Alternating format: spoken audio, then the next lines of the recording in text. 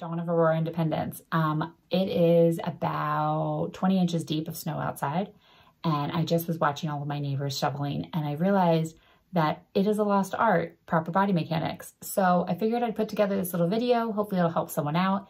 That way you don't need to ever call me or any other therapist in order to help you.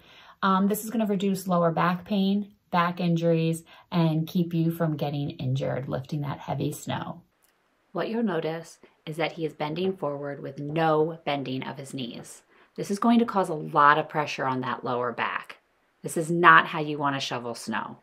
Feet are too close together and he's not using his full body mechanics. Instead, here you see him take a step, bends at his knees, lifts from his legs, not from his back.